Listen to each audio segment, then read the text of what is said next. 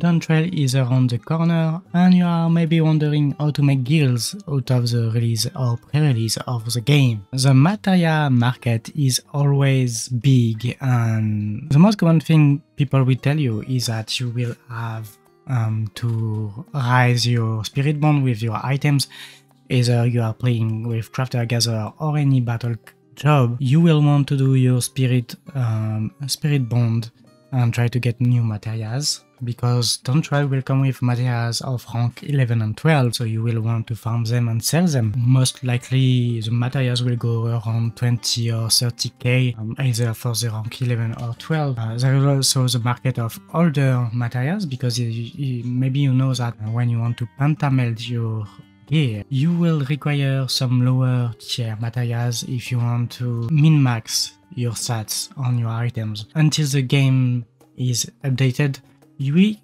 can't, we can't know which stat is prioritized and which materia is the best. Buying some, if you can, is not so bad, but the problem with materia market is that it is very competitive and people will, um, a lot of people will try to sell some. If you want to do to go for the materia market, there is Mutamix. I already made videos um, in the past about that, but Mutamix is an NPC which allows you to exchange 5 materias for another one, uh, which will be of higher rank if you uh, transmute 5 materia of rank 10, you can get 1 materia of rank 11 when Dawntrail comes out.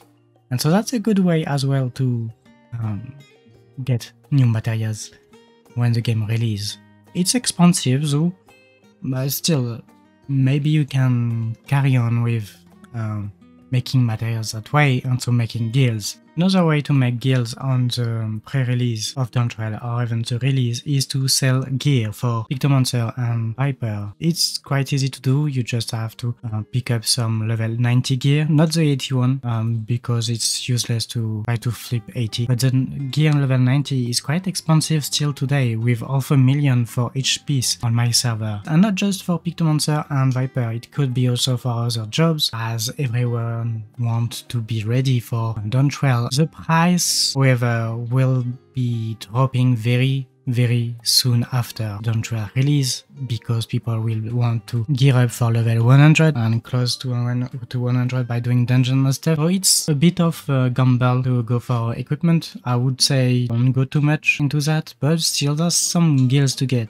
Next, I will be talking about some changes that will impact the market, which is a double dye. The double dye system is pretty impressive, pretty needed and wanted by players, but also it will mean that more dyes will sell because everyone will want to, to double dye their gear um, the way they want to make new glams and stuff. So trying to get more dyes and the ones that sell the most and stuff might be a good way to make gears. For example, um, the ruby red dye will, will go for 7k right now on my server and might raise uh, rise sorry for the Dawntrail pre-release or release because people will want to dye their gear. But not just their gear actually. And that's the next part of this video. As for system changes we have housing system changes. Two main changes during Dawntrail one is not announced for 7.0 obviously it's a number of items you can uh, place in your houses. They plan to add more to that so you have to stay tuned with the updates of the game. But for the double dye it, it is said that they will allow it for 7.0 I believe, and so people will want to double dye their housing items, and so they will need even more dyes. For the last part of this guide, I will be talking about currencies, things that are farmable. Indeed, there are a lot of currencies in the game, and there will be more with Dawntrail, and obviously they come with the, the possibility to purchase things. If you forget about the gil, you can already check for GP, so the currency from um, the gold saucer. It is not said that there will be anything exchange, uh, exchangeable in the market board, but still, that's something you could look forward to. But it's a bit late to make gils, um, to make GP. Other currencies are the nuts, for example, from the ants. You can farm them every day with Untrain. During Dawntrail, it will be harder because you can't uh, visit other world, so other servers, during the beginning of Dawntrail at least, but there will be instances in the new areas, so you will be able to kill at least um, 36 A rank, and so get a lot of nuts. Or if they release a new currency for that, then the new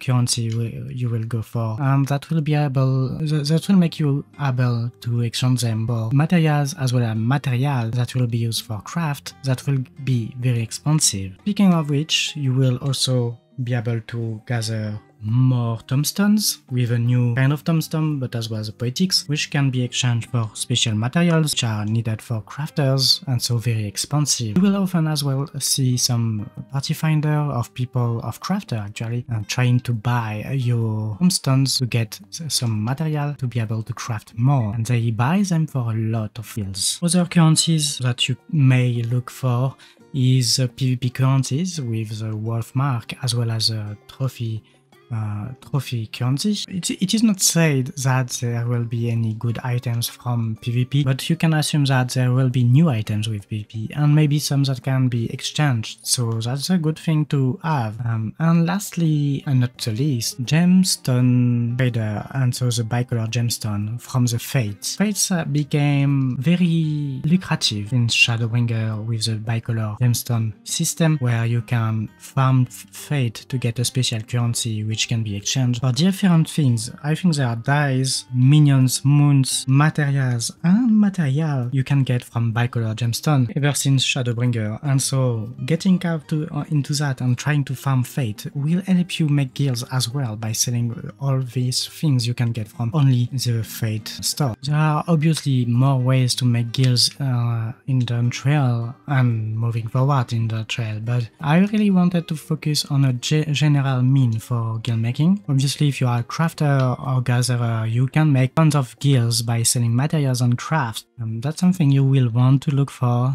as a crafter, as a main crafter. Some people are specialized in that, and I believe those that are specialized in that knows already how to make gils. My conclusion about that is really play the game the way you want. By doing so, even doing just roulettes, you can get tons of gils. That's not limited to things I told you right now. Uh, I told you many things focus on the market board, but you can make gils by doing your challenge log, bullets, and so on. So really, playing the game is a key for gil making. Before ending that video, I wanted to show you some images of me drawing the winner of the starter edition um, from the 20th of June. Um, so you can see that on the screen. That's the second time I take that video, so I forgot the name exactly. I don't want to um, miss it, but you will see it on the screen. I thank you kindly for watching this video. Put a like if you did like, a dislike if you did not. Subscribe for more and I'll see you in the next one.